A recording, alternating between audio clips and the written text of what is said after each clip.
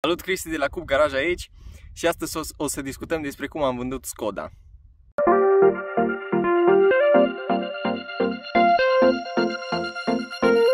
Vă spune că aproape toți cei care au vrut să cumpere mașina, deci toți cumpărătorii au vrut să, uh, să îmi dea o țeapă sau să-mi ofere extrem, extrem de puțin. Ideea care e? Mașina a avut nevoie de următoarele reparații. Să zic așa, destul de ok din punctul meu de vedere, dar pur și simplu um, nu mai merita să băgăm bani în ea, mai ales acum pentru că va urma, din câte am înțeles, o suprataxă, un fel de mărire de impozit pentru mașinile mai vechi, de, nu știu, 15 ani. Și Skoda era parcă din 2005-2006, uh, deci oricum anul următor ar fi putut intra la, la acea suprataxă. În fine, Uh, ideea este că mașina a avut, a avut nevoie de următoarele reparații. A avut nevoie de schimbul de ulei și de filtre, de un schimb de distribuție, uh, a avut nevoie să îi fie polișate farurile sau să îi fie înlocuite. Uh, ideea era că farurile erau mătuite. Mai avea nevoie de un schimb de, de clanță de ușă, pur și simplu clanța de la ușa din spate era ruptă Uh, și un geam era blocat pe partea dreaptă, partea pasagerului, puse planetarele și cred că și, cred că și arcurile pe față. Uh, în fine, mașina necesita practic un pic de investiție și de timp, uh, motiv pentru care eu sincer am, am vândut-o, mai ales că sincer nu, nu renta. Am pus-o pe OLX la 1000 de euro,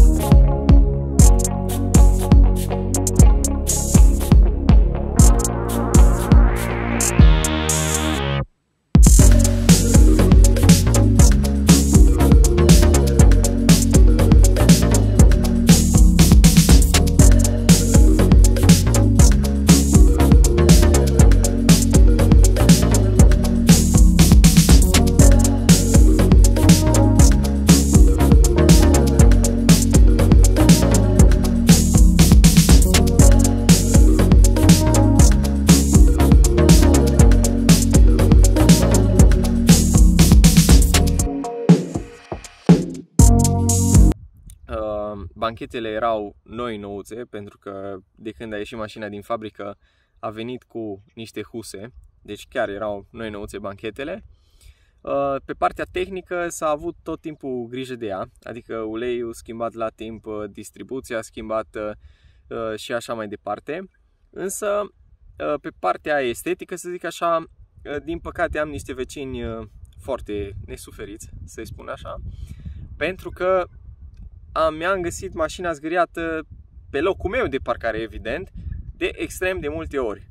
E foarte zgâriată, dar zgâriată așa până la tablă, deci nici măcar o zgârieturi care se treacă la polish. Zgârieturi uh, grave, să zic așa. Și uh, a avut mai multe uh, nenorociri, să zic așa, mașina asta. De exemplu, una dintre întâmplări uh, fix la poliție, în parcarea poliției, uh, fix acolo s-a lovit mașina. A fost lovită de către cineva și ghiciți ce? Suspectul a fugit de la locul accidentului. Și nu știu cum nu era montată bine camera, că în fața oricărei instituție de obicei publică de stat, uh, mai ales în fața poliției, există camere. Dar pur și simplu unghiul camerei nu a putut identifica făptașul. Deci ca să vă dați seama ce ironie, să-ți fie lovită mașina fix, uh, fix în fața secției de poliție. Evident, reparația făcută pe banii, pe banii proprietarului. Ce mai trebuie să spun, a avut intervenții pe partea de tinichigerie, evident, și a fost revopsită, însă a fost revopsită destul de prost și nu am considerat, adică vă dați seama, am fost la momentul respectiv nervos pentru că nu mi-a ghicit codul de culoare, respectiv a dat o nuanță un pic mai albastră decât era ea și asta m-a dezamăgit, dar ce să facem, ăștia și avem, cu ăștia defilăm. În fine, Uh, cam astea erau problemele. În rest, mașina super ok, motorul trăgea super bine. Vedem cum pornește. Punem cheia. Lăsăm un pic să se hodinească. Pornit pinișor. Avea 295.000 de km, deci spre 300.000 de km, dar motorul 1.4 diesel uh, turbo. Era super, super bun motorul. Era impecabil motorul și trăgea super bine mașina. Era însă Euro 3. Și asta iarăși m-a neliniștit cu viitoarele legi care probabil or, or să vină, pentru că habar nu am care ce consecințe vor avea.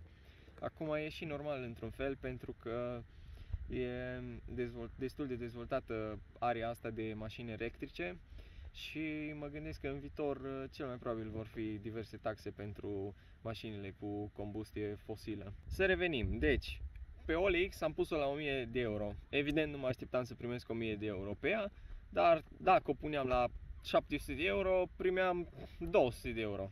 Oricum, haideți să vă spun exact care au fost ofertele pe care le-am primit. Am primit pe OLX oferte deci, pe, de la 1000 de euro pusă pe OLX. Am primit oferte de 2000 de lei, am primit oferte de 2500 de lei, am primit oferte de 2700 de lei și am primit o singură ofertă de 1800 de lei. Deci mi s-a părut da, incredibil, adică strigător, țipător la cer.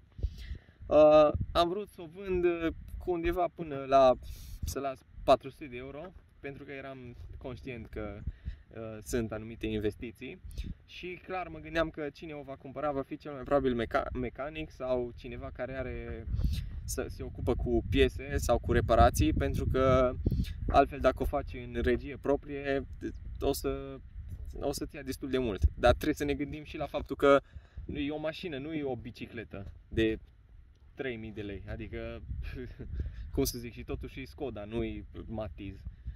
Uh, de aceea am hotărât că, bă, totuși 600 de euro e chiar ok, chiar rezonabil și am primit uh, oferte multe de, de 600 de euro. Au venit chiar uh, 3 persoane în 3 rânduri să o vadă.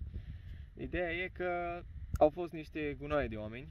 Au fost uh, un, unul, așa zis, mecanic, mi-a spus că bat tacheții, că sunt probleme grave la motor și că îmi poate da, uh, îmi poate da 1500 de lei pe ea. Eu când am auzit, deci din 1000 de euro pusă pe OLX, 1500 de lei, am zis, no, serus, așa ceva nu, nu discutăm și am încheiat discuția.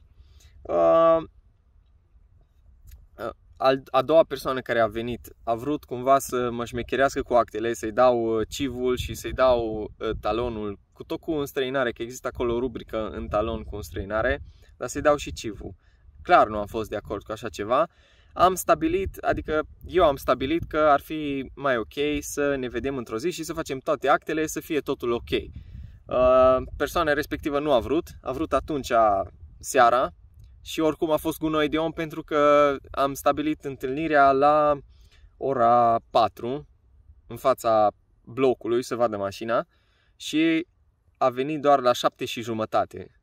Deci așa ceva mi-a fost cârbă de oameni dintre aceștia, pentru că și timpul meu e valoros și, și timpul altor, altora e, consider că e la fel de valoros. Tocmai de aceea am scris toate problemele mașinii în descriere, ca să nu ne pierdem timpul și să nu se simtă după aia cei care vor să o cumpere că, uh, nu știu, nu le-am spus, nu le-am spus totul sau că ascund ceva și după aia să mă sune și alte nebunii, nu, exclus așa ceva. Spun toate defectele mașinii pe care le cunosc evident și după aceea discutăm. Dar așa, cu oferte dintre astea de cacao și cu, și cu pierdere de timp chiar nu, nu e necesar și consider că timpul fiecăruia este valoros.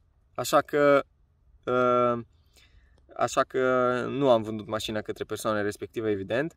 Și a treia persoană care a venit să o vadă uh, a și luat-o. Într-adevăr, cum am ghicit, a fost mecanic. Uh, și a făcut mașina țiplă pentru ITP, că nu avea nici ITP, nici asigurare. Mașina practic a stat în ultimele șase luni. Nu am putut să mă ocup de ea. Eu sunt mai mult cu pasageți aici. Uitați-l acolo ce frumos e. Cu tot Clujul în spate. Nu am mai avut pur și simplu timp de mașină, mai ales tatăl meu uh, umbla cu mașina aceea cu Skoda pentru că era destul de economică. Cel care a cumpărat-o, um, a cumpărat-o cred că vineri și deja pe luni mașina era pregătită, pregătită complet, era o mașină total schimbată, toate cele menționate anterior el le-a reparat și a fost totul ok. Și acum are Skoda funcțională, oricum pe partea tehnică motorul era super bun, practic estetică și probleme dintre, dintre acestea micuțe.